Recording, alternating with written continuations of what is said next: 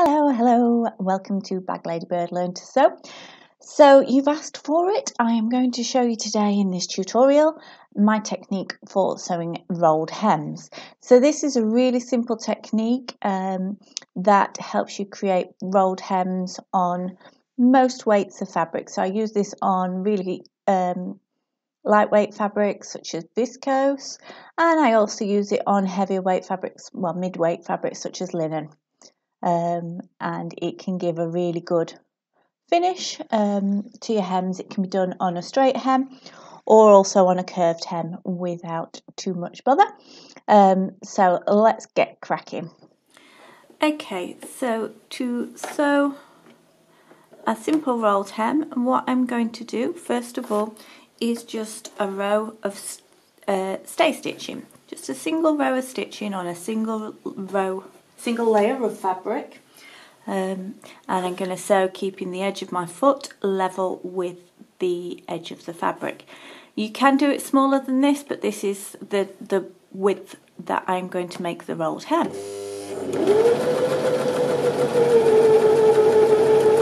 So this is on a curved seam. Just want to show you how easy it is to sew.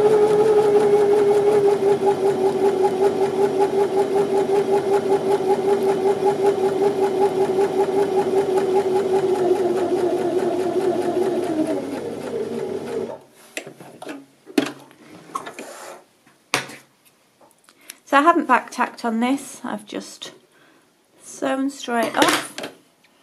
We've got a single row of stitching close to that edge. Now what that does, it gives you an edge to fold this over. So you can do this without any pressing once your fabric handling skills are up to that. If you are um, new to sewing this type of thing, then I would suggest at this stage you press this over. So that row of stitching will give you an edge to help you fold it over.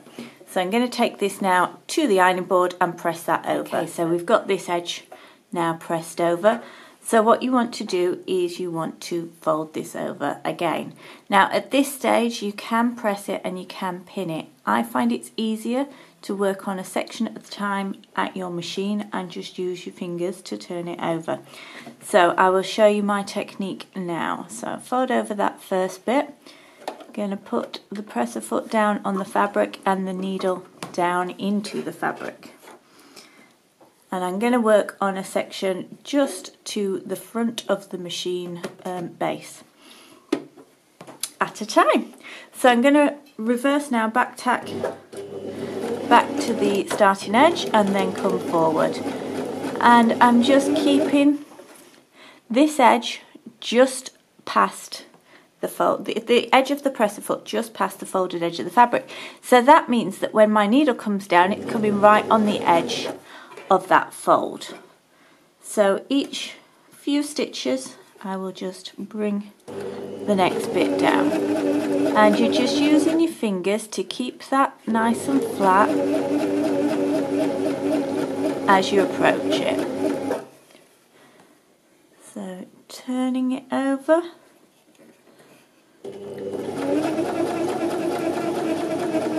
and continuing to sew.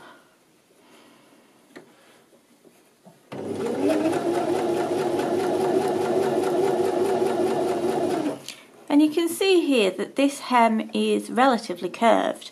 You probably wouldn't often have a hem this curved on an actual garment.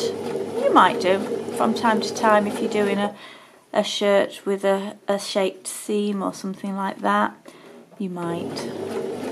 But it's quite an extreme curve we're working with here anyway, just to show how easy it is to, or how possible it is to do a really neat hem with that,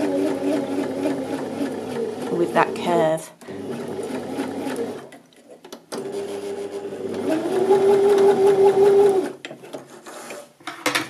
Okay, so we can now trim our threads on both ends.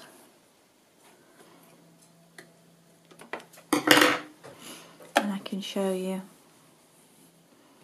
how neat that looks from the wrong side and then how neat it looks from the right side. So you can then press that and sharpen that up, sharpen that edge. Okay, so I'm going to show you now how to sew an even narrower rolled hem. I'm using a calico because it's a more stable fabric and also it gives you a better contrast to be able to see it. But the more you practice and the better your fabric handling skills get, the more you'll be able to do it in a um,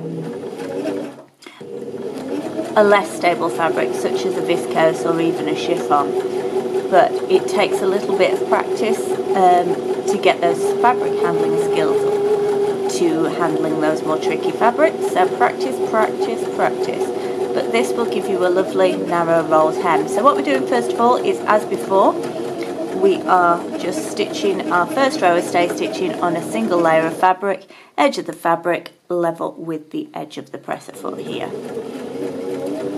And this is just on a regular two and a half stitch length. Trim the threads and now I'm going to go to the ironing board and press that over. Okay, so now we're lined up with the edge of the folded edge of the fabric really close to the needle. So we're less than an eighth of an inch from the edge now. I'm keeping the edge lined up with that um, side of the front of the foot. The centre of the foot where it has that little indentation, it's almost like a U shape rather than a point, so I'm keeping it level with the right hand side of that U.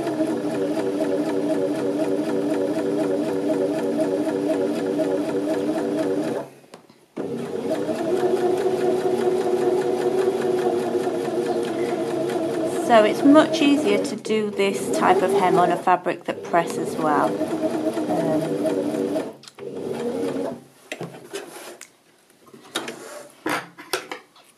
okay, so we're going to cut that, cut that, and then we are going to trim this excess off. So we want to be really close to that second row of stitching we've just stitched and I'm going to trim that across the whole length of the fabric. Now we've folded this edge in, pressed it in place and now we're going to do the third and final pass of the sewing machine over this hem. So we're just stitching along close to that um, second row of stitching, the one we can see in the middle of the folded hem along that. Just lifted the foot there because the hem was getting twisted under the presser foot. So long as the needle is down in the fabric, you can lift the presser foot when the machine is not sewing.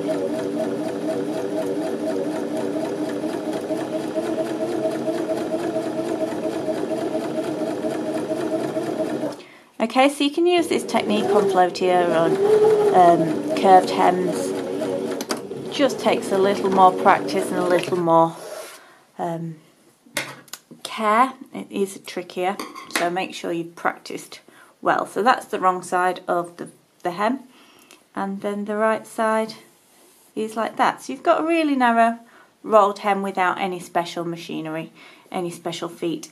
I actually find this much easier than using the rolled hem foot. So there we go two different techniques for sewing rolled hems.